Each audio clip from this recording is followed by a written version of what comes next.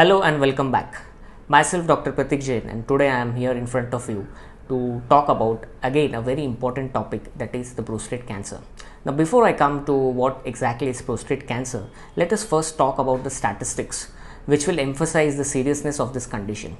Now as per the latest stats, prostate cancer is the most commonly diagnosed cancer among men in 112 countries and it is a leading cause of the cancer related deaths in 48 of those countries. That's how serious it can be. Now let us understand what exactly is a prostate now prostate is a small walnut shaped gland that is present below the bladder and in front of the rectum. Now, the primary function of the prostate is to secrete a fluid that mixes with the semen and it helps in its transportation.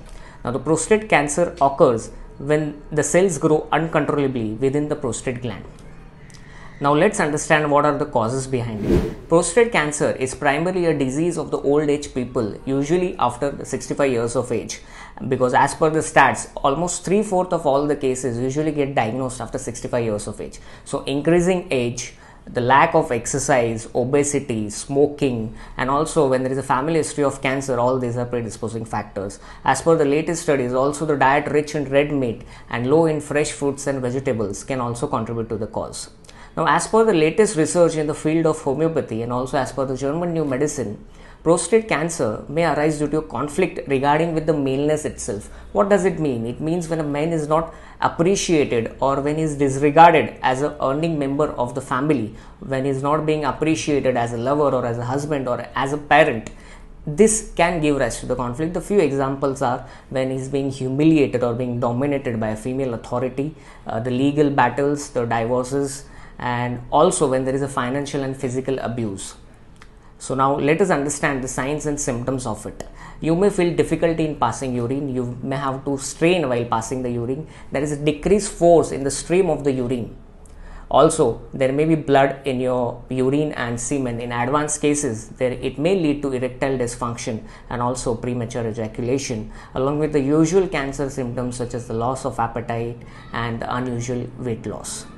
Now, how to diagnose it? If you find any of the symptoms, first and foremost, your physician will ask you to do a test called as the prostate specific antigen test. An elevated level of this may show the predisposition to the disease and the doctor then the physician may ask you to do a biopsy or an imaging test to further confirm the diagnosis now what is the role of homeopathy in all this the homeopathy can improve the overall well-being of the patient.